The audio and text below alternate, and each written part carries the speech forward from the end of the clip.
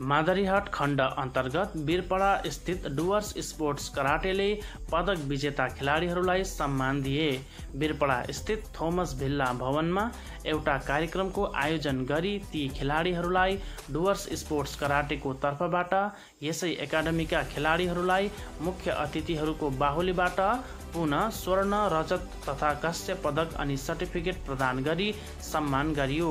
Dooars sports karate एकाडेमीका संस्थापक सेन्सी अनिल लोहारले सम्पूर्ण अतिथिहरूलाई स्वागत जनाउँदै ती पदक प्राप्त गर्ने खेलाडीहरूलाई बधाई दिइयो तिनले खेलाडीहरूको अभिभावकहरूलाई पनि बधाई साथै धन्यवाद ज्ञापन गरे।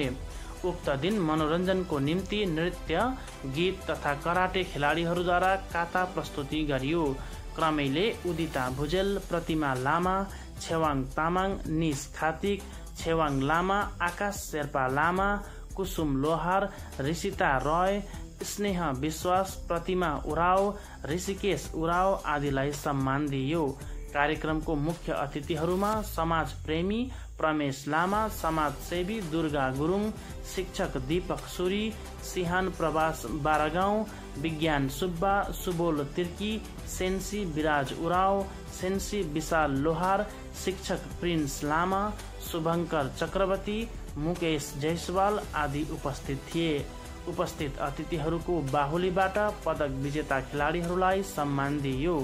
स्मरण गराइन्छ कि गत तिस र एकतिस जुलाईको दिन कलकत्ताको नेताजी इन्डोर स्टेडियममा all India सिसिकाई सिटो Riu karate do फेडरेसनद्वारा आयोजित छौँ अन्तर्राष्ट्रिय कराटे च्याम्पियनसिप प्रतियोगितामा डुवर्स स्पोर्ट्स कराटेका खेलाडीहरूले कुल छवटा स्वर्ण पदक एघारवटा रजत पदक तथा बाह्रवटा काँस्य पदक जितेका थिए।